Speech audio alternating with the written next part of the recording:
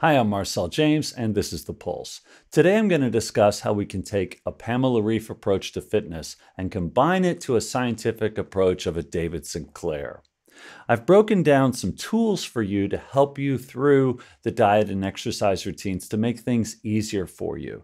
Basically, I'm going to talk about changing your centerpiece each day, closing any open back doors, planning your poisons, and sharing accountability. And I'm going to intersperse these comments throughout the discussion of diet, exercise, and also dealing with setbacks that come up. When I talk about dieting, yes, I take a lot of supplements, but there are other ways to add supplemental molecules to your diet. One of the backwards engineering paths you can take is to go up to a site like Do Not Age, read the supplements, see which foods. They do a great job of listing different foods that their supplements are derived from and just eat those foods. They can be broccoli, they can be beets, they can be nuts, they can be berries. It's another way to get these substances that have been shown to give you health results or longevity results and get them into your body without the expense and without maybe some of the risks involved with taking an unknown molecule into your body every day. Now, I take supplements, I feel great taking them. I have a risk reward tolerance that I've decided upon based on my age and how much time we have to find out the specific impacts of all these supplements. But your risk reward ratio may be a little different than mine. And so, what I would suggest is to take some of the foods that we found to be healthy and supplement your current diet with some of those foods. So, some of what we talk about when we talk about dieting is adding things. Some of what we talk about when we talk about our diet is taking things away sugar, processed foods, alcohol. I would try to either displace those, and I'm going to discuss some ways you could do that, give you again some tips, or just eliminate them altogether. Sugar processed foods, for example. I find I like muffins, I like cakes, I like cookies, I like these, these sweet fixes during the day. So, what I've done is replace them, displace them with things like berries, nuts, uh, a super yogurt that I make every day. And I find myself feeling better after I eat those things and looking forward to them. Another thing that I do is in Germany, we have a lot of bakeries. We, are flooded with them, they're everywhere. And once in a while, I like to have a pastry or something uh, from a bakery. Those are much better than the stuff you'd buy packaged in the store. So you can either find a fresh bakery and eat something that's a lot better for you even though there are some carbs and some sugars involved, or you can bake yourself. I like the idea of baking yourself because you can control the ingredients, you can displace some of the ingredients, put more fresh fruit in, less sugars. Um, you can even change the flour if you have some intolerances to certain flours. So, baking is also an activity. So, it actually keeps you busy, occupies your mind, you burn calories while you're baking.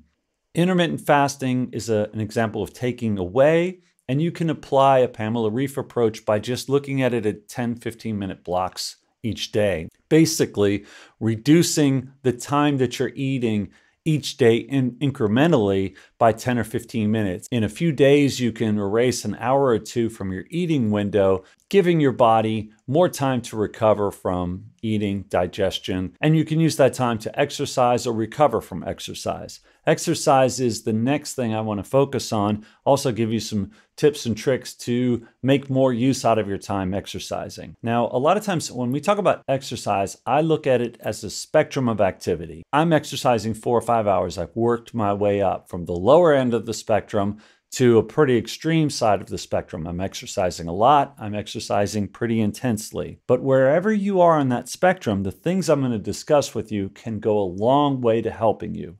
For example, I had some setbacks. I mentioned setbacks. In January, I had a couple injuries, so I had to re- rehab, recover from those. One of them was a pretty painful lower back sprain because I was taking NMN, getting a lot of energy, and just walking out the door without proper stretching, without a proper warm up. So I've since really gone to work to find a head to toe stretching routine. And I'm going to post that soon in a complete video and discuss it. For me, it's a 40 minute routine, but I'm condensing the video down to 20 minutes so that you can at least get all the steps, then just extend the times for certain stretches. Stretching is great also to make better use of the dietary supplements or dietary supplemental foods that you're taking in because stretching improves your circulation, gets your blood flowing to extremities, and brings that nutrition to your extremities. We talk about nutrition, we're talking about not just dietary supplements, but also vitamins, minerals. These things are all maximized when you stretch. So, stretching is an under talked about routine. So, you can go back to Pamela Reif, take some of her stretching techniques. You're going to maximize some of your David Sinclair approaches with your supplementing your intermittent fasting and correcting your diet. Another thing I like to do a lot is walk. Walking is basically free physio. And walking creates some real opportunities because if you'll block out a period of time for a walk every day, you can vary that walk. For example, Introducing interval training is going to maximize the time you spend walking.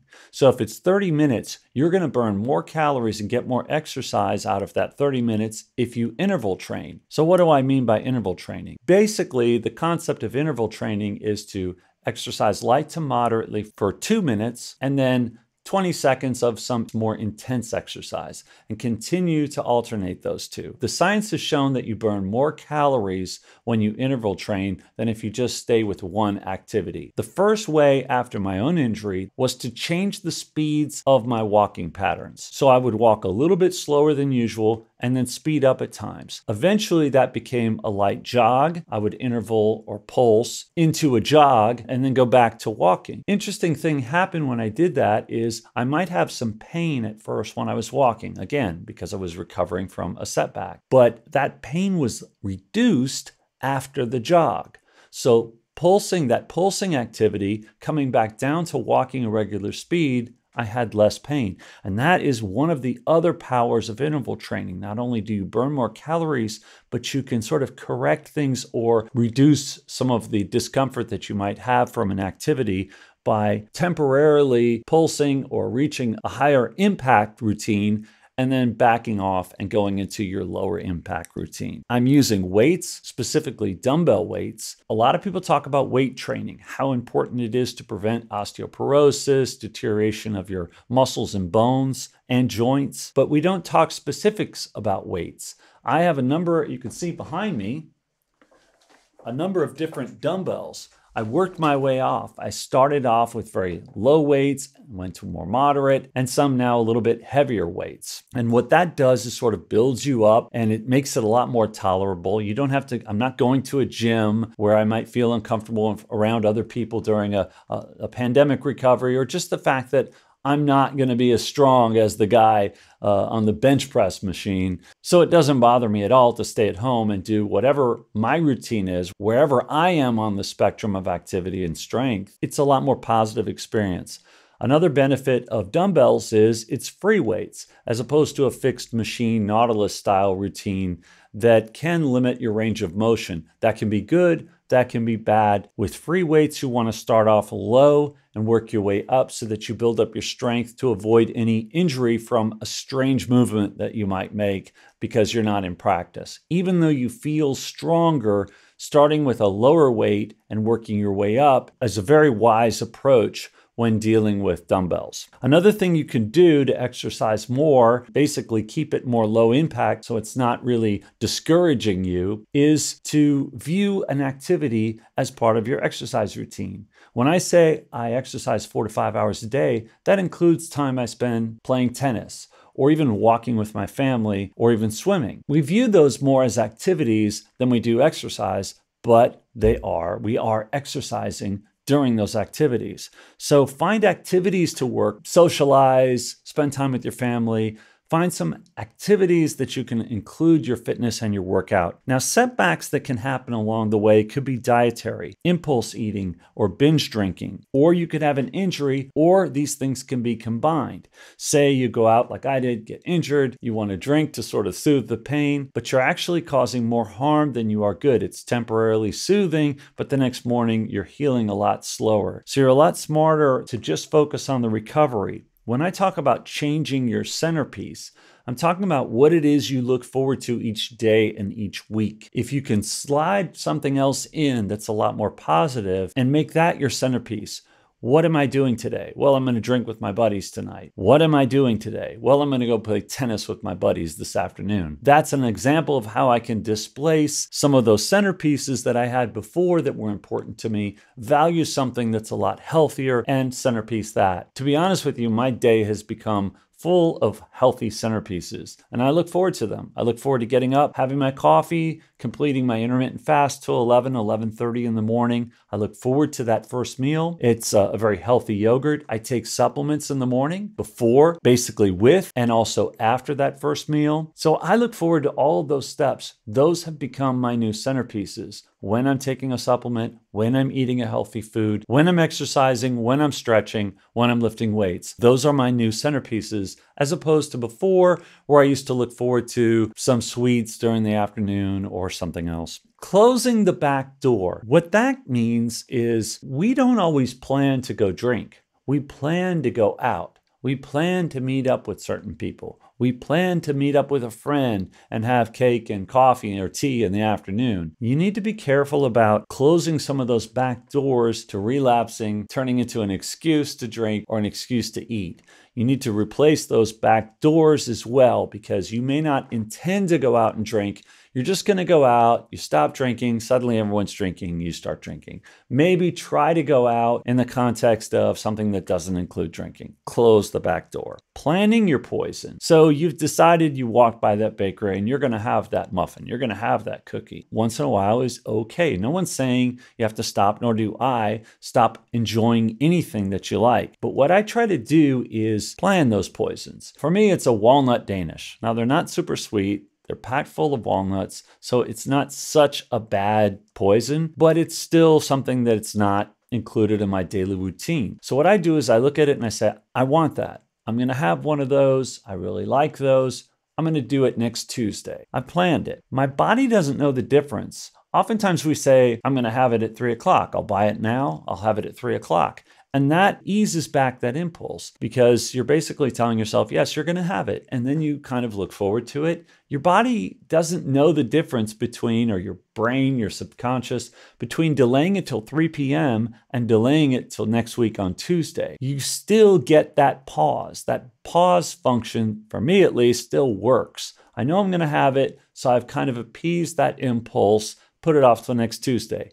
Interestingly, oftentimes I get to next Tuesday and I go, wow, I made it five days without that walnut thing. I can do another few days. And so it's easier then to push the reset button on that new plan. Sharing accountability basically is what I'm doing with you all the time, every week. It's one of the reasons I look forward to and make videos. I'm trying to have this progress and then I'm trying to go out and actively share it. It's for you. I want to share it with you, but it's also mostly on a personal level for me that I share my progress and the things that I'm doing because it kind of keeps me honest. And so you don't have to have a YouTube channel to share accountability. You can have a friend that joins you. You can approach somebody who you may feel could also better themselves with exercise and dieting and say, hey, I'm going to go on this journey. I'm going to follow Pamela Reif. I'm going to follow David Sinclair. I'm going to listen to the pulse a bit, and I'm going to kind of go on this journey. You want to join with me?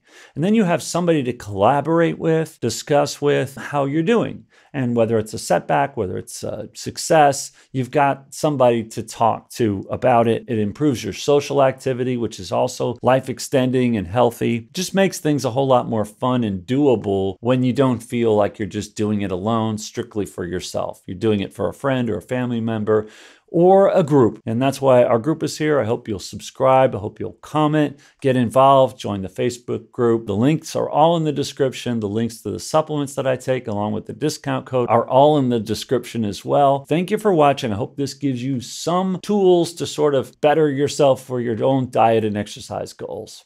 See you soon.